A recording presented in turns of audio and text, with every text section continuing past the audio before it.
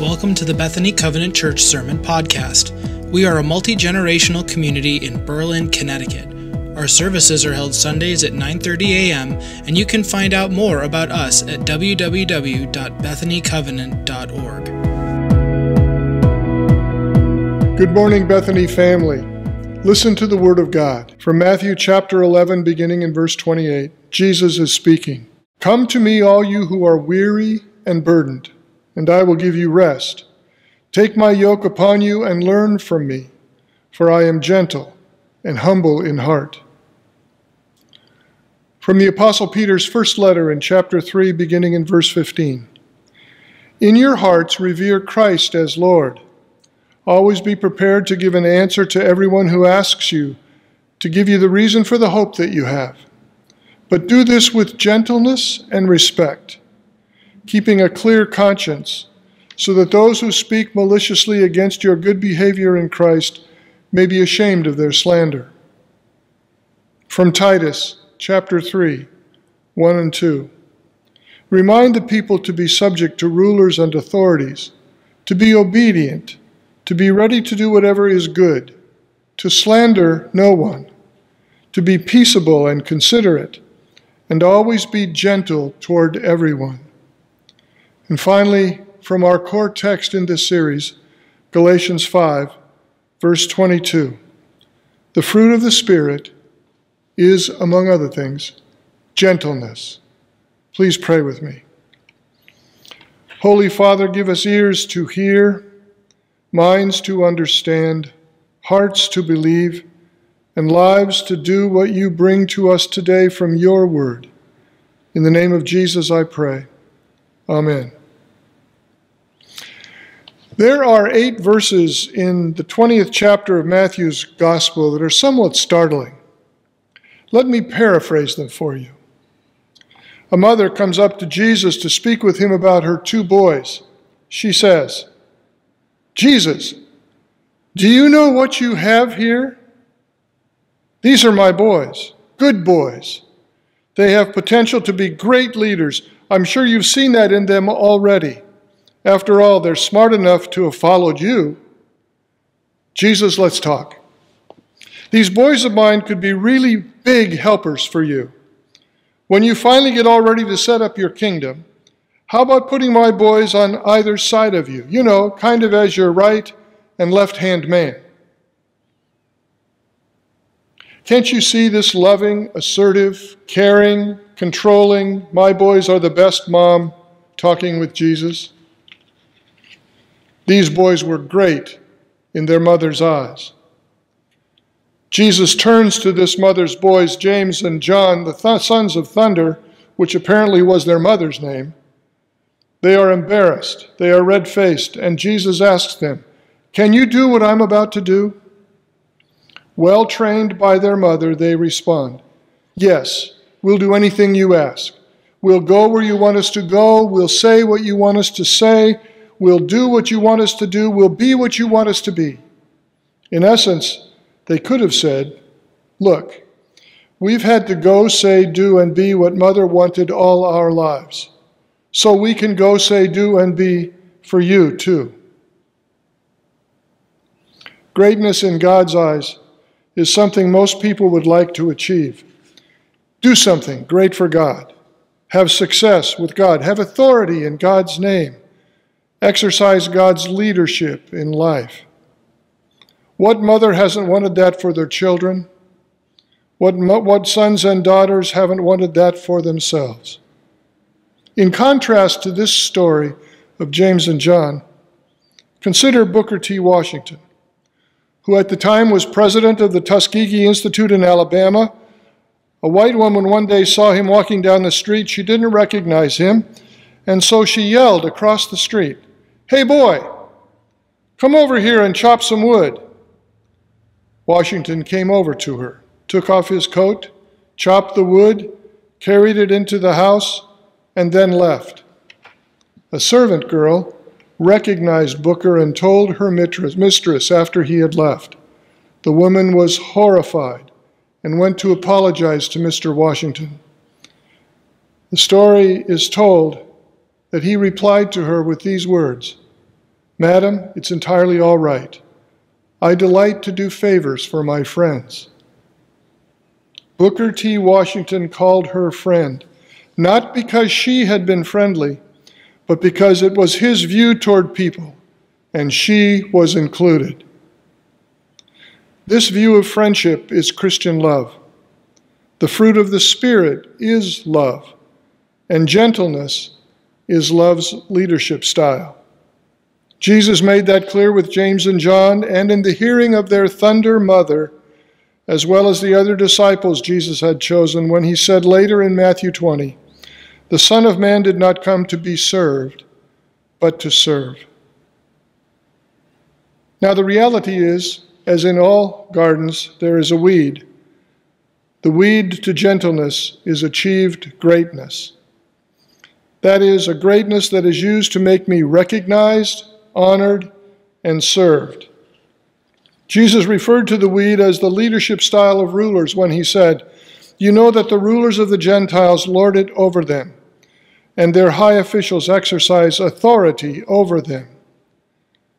The emphasis in much leadership is on the authority, control, and manipulation, sometimes masked as assertiveness, which frankly is a bad use of that word. Phillip Keller, in his book a gardener looks at the fruit of the Spirit, shows the contrast of the world's style of leadership and the style of Jesus. I quote him In the garden of our lives, there springs up a mixed crop of fruit and weeds. On the one hand, there are places where pride, self assurance, arrogance, self indulgence, and abrasive aggressiveness mark our behavior. These often tend to almost choke out completely the gentle fruits of God's gracious Spirit. Unless we keep clearly in view the life and character of Christ, we will succumb to the eternal temptation of living like our contemporaries, insisting on our rights, demanding our pound of flesh, stepping on anyone who trespasses against us, while all the time pushing for prominence and recognition. This is the world's way. Christ calls us to tread in his footsteps. He tells us to deny ourselves daily and give up our rights to ourselves. He asks us to take up our cross continuously, that which cuts diametrically across my selfish self interest, crossing out the great I in my life to produce peace. End of quote. If we're honest, when we look at our culture, Jesus' way is frankly not very appealing. Jesus' way goes against the grain of life as we know it. Jesus' way is not glamorous or romantic, and Jesus' way is certainly not easy.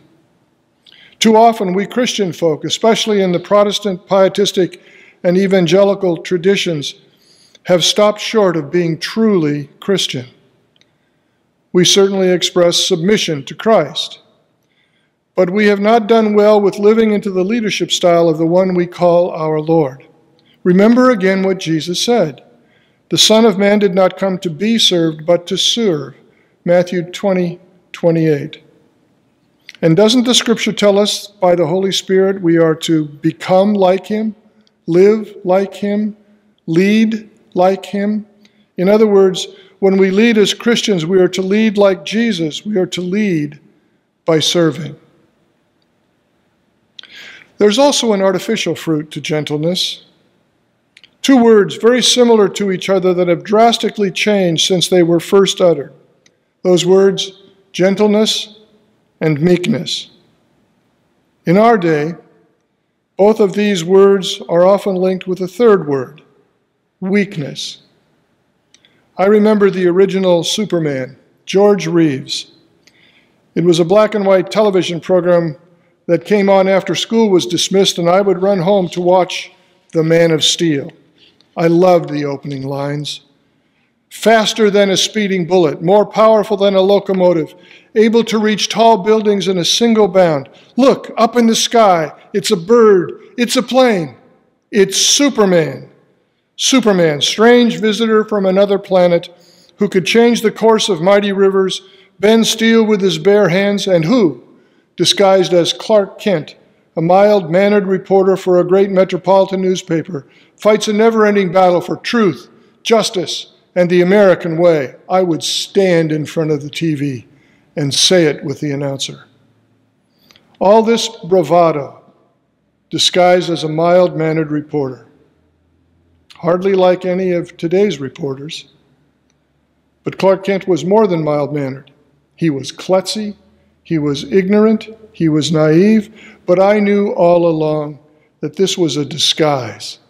Meekness, gentleness, they were a cover. Clark Kent, on the surface, appeared to be no threat and of no consequence to anyone.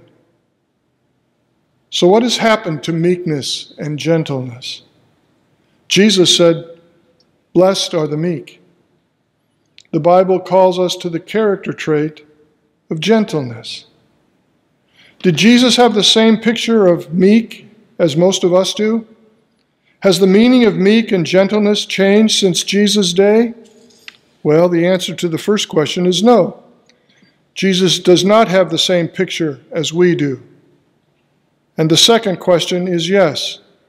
The meaning of these words, as understood by most, has changed. In the Hebrew language, the word is anah, translated meekness, humility, gentleness, and lowly. From the Psalms, we read, God hears the desires of the anah, the humble, the meek, the lowly. The anah in Psalms, humble, meek, and lowly people shall eat and be satisfied because of God. God rises in judgment to save the Anah, the meek, the humble, the gentle of the earth. Psalm 25. It is God's promise that the Anah, the meek, will inherit the earth. Matthew 5 5. Essentially, the thought of the Hebrews was that a meek person obediently accepted God's guidance, accepted whatever God sent in the certainty that God's way is always best and that all things would work out for the best. Gentleness and meekness were seen as a strength, a strength of faith in God and God's ways. This sense of gentleness and meekness as a strength was also true in the Greek language. In the Greek, one of the words is praus, which literally means the means between extremes. Aristotle put it this way Praus, meekness, gentleness, was that area of human behavior and emotion that was between excessive anger on the one hand and angerlessness on the other. End of quote. If a person was truly gentle or meek, they were neither flying off the handle nor unable to know how to be angry. An example of praus was in the domesticating of a wild animal. The strength and stamina of that animal were not removed, but the focus and the direction of that animal became now under control. Jesus exercised praus throughout his life. Jesus got angry when people displaced women and Gentiles from worship in the temple. Jesus didn't get angry when they spit on him, beat him, and even crucified him. Nuclear power is another example of praus. A nuclear bomb is out of control, it's destructive, it's random. A nuclear power plant is controlled, channeled, energy producing. And God is the ultimate example of praus. He could act with the most stern severity at our disobedience, but he doesn't. God has every right to instantly judge and punish us, but instead, God continues to pursue us with his love, drawing us to himself and giving us the Holy Spirit to help transform us to be more like his Son, Jesus, the gentle one. Why is it then that so many Christians judge and punish with words and actions those who oppose? Why is it then that we, we who claim Christ as Lord, so easily become judges of others rather than lovers of them? Why is it then that we, we who claim Christ as Lord, so easily punish others with their words, their behavior, rather than show them forgiveness? Is Jesus truly our Lord? or has our warped theology become our Lord? Is Jesus truly our Lord, or has our view of acceptable behavior become Lord? Is Jesus truly our Lord, or have we become our own Lord? There's tremendous power in the Church of Jesus Christ, and it has been sadly abused by people for whom Jesus Christ is not truly Lord. It has become maligned by people so that the world rejects the church and as a result rejects God, His Son, Jesus, and the Holy Spirit, and reject the Bible. It's tragic. The church has often forgotten that she is the bride of Jesus Christ. She, the bride of Christ, is to follow Him. She, the bride of Christ, is to serve Him. Jesus, the bride of Christ, most miraculously, miraculously is to become like him. Men, I speak to you. Please listen. There's been a rising and renewed teaching on the warrior qualities of the Christian man. It is rightly revealed that this is the nature of man, to protect and to defend. The examples most often raised are David, Peter, and Paul. But there is a flawed thinking and teaching in this trend. David, Peter, and Paul are men like us. They are not our examples. God has given us our example. It is our Lord. It is Jesus the Christ. There is no other. And Jesus, in his own words, is gentle and humble of heart. Matthew 11, 29. Jesus has the capacity to do battle. But in his own words, Jesus said, God did not send his Son into the world to condemn the world, but to save the world through him. John 3 17. The Apostle Paul tells us why Jesus was like this. He writes in Philippians 2 In your relationships with one another, have the same mindset as Christ Jesus, who, being in very nature God, did not consider equality with God something to be used to his own advantage. Rather, he made himself nothing by taking the very nature of a servant. Jesus came to serve. That's the leadership style of his kingdom. So, what can we do to cultivate genuine gentleness? Two things. We cultivate genuine gentleness through service. F.B. Meyer wrote, quote, I used to think that God's gifts were on the shelves one above the other and that the taller we grew in Christian character, the easier we could reach them. Now I find that God's gifts are on the shelves one beneath the other. And it is, it is not a question of growing taller, but of stooping lower. And that we have got to do down, that, that we have got to go down, always down, to get His best gifts. We cultivate genuine gentleness through service, which means stooping. Secondly, we ultimately cultivate genuine gentleness through imitating Jesus, that is, becoming like him. As he submitted to his Father's will and came to serve us salvation, we are to submit to his will and go win the lost and help the hurting. Our job is not to correct people, but to love them, to set an example for them. Our job is not to make people like us, but to introduce and disciple them for Jesus. Our job is to baptize them in Jesus, helping them to fully identify with Him, to surrender their lives to Him. I close with this picture of a mother lion and her cub. The cub is not gentle, but it is powerless when compared to the mother. The lioness is gentle, capable of great power, but choosing to gently raise her cub. In Christ, we are the cub. We are to submit to Him, be, as Ali said, all in with Him. Because of Christ, we become the lioness. Let us be gentle and raise up the cubs around us His way. Pray with me. Gentle Father, by your Holy Spirit, make us a gentle people, both as leaders for and as followers of your Son, Jesus Christ. A thought for your day from Philippians 4 4 to 5. Rejoice in the Lord always. I will say it again rejoice. Let your gentleness be evident to all. The Lord is near. God's blessing be upon you. Stay safe, stay well. You are loved. Amen.